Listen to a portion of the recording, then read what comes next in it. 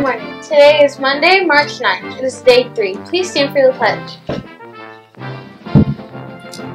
I pledge allegiance to the flag of the United States of America and to the republic for which it stands, one nation, under God, indivisible, with liberty and justice for all. Today is Motivational Monday. Quote of the day. Be willing to be a beginner every single morning. Meister Eckhart. Eckhart.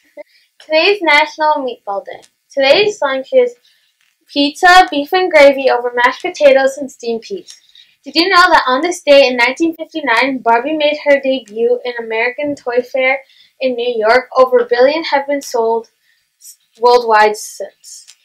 March. Never mind, March. We know you're not really mad, or angry, or bad.